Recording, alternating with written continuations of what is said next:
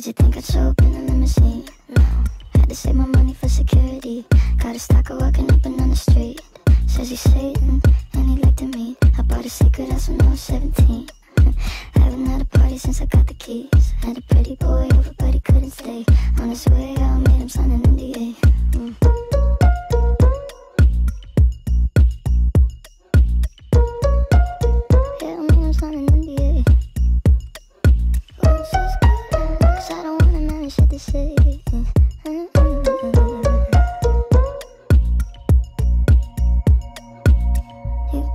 Save me, but you can.